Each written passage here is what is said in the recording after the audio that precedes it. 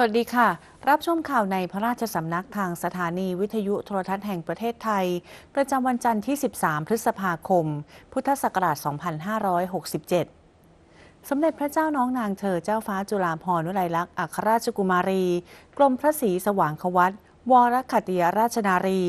ทรงให้ความสำคัญกับสุขภาพคน สุขภาพสัตว์ และอนามัยสิ่งแวดล้อม ซึ่งสอดคล้องกับแนวทางสุขภาพหนึ่งเดียว หรือ One Health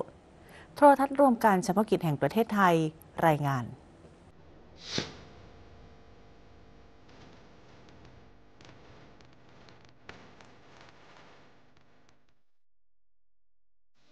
ด้วยพระวิสัยทัศน์ของศาสตราจารย์ดร สมเด็จพระเจ้าน้องนางเธอเจ้าฟ้าจุฬาภรณ์วิไลลักษณ์อัครราชกุมารี กรมพระศรีสว่างควัตวรคัจยาราชนารี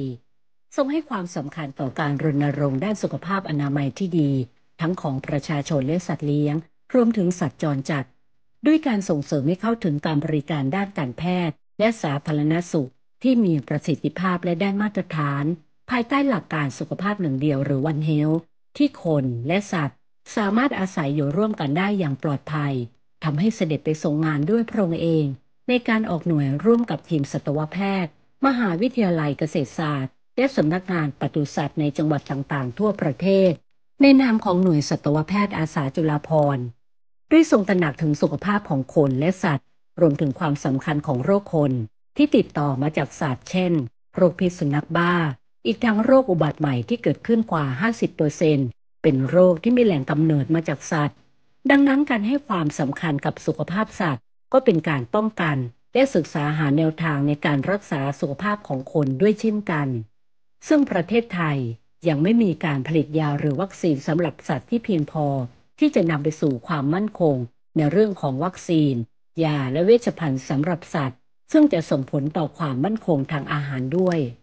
เนื่องจากประเทศไทยเป็นประเทศเกษตรกรรม มีการเลี้ยงปศุสัตว์ เพื่อการบริโภคภายในประเทศ และมีการส่งออกมูลค่านับแสนล้าน หากสามารถผลิตวัคซีนและเวชภัณฑ์ใช้เองได้ภายในประเทศ ก็จะส่งผลดีด้านความมั่นคง ในเรื่องของการผลิตอาหารของประเทศไทยด้วยสำหรับสัตว์เลี้ยงซึ่งเป็นสัตว์ที่มีความใกล้ชิดกับคนการดูแลสัตว์เลี้ยงให้มีสุขภาพที่ดี ไม่เป็นโรค ก็ส่งผลดีกับผู้เลี้ยง โดยเฉพาะโรคพิษสุนัขบ้าที่มีอันตรายร้ายแรง ปัจจุบันประเทศไทยยังไม่สามารถผลิตวัคซีน ป้องกันโรคพิษสุนัขบ้าได้ ต้องอาศัยการนำเข้า เมื่อเกิดวิกฤต โรคระบาดเช่น โรคโควิด -19 ส่งผลกระทบให้การผลิตวัคซีนโรคพิษสุนัขบ้าน้อยลงทำให้เกิดการขาดแคลน ส่งผลให้จำนวนสัตว์ที่ติดโรคพิษสุนัขบ้า มีแนวโน้มที่เพิ่มขึ้น มีสถิติคนเสียชีวิต จากโรคพิษสุนัขบ้าเพิ่มขึ้นเช่นกัน หากไม่มีวัคซีนใช้ป้องกันโรคพิษสุนัขบ้าได้อย่างเพียงพอ ก็จะทำให้ประเทศไทย ไม่สามารถกำจัดโรคพิษสุนัขบ้าให้หมดไป ภายในปีพุทธศักราช 2573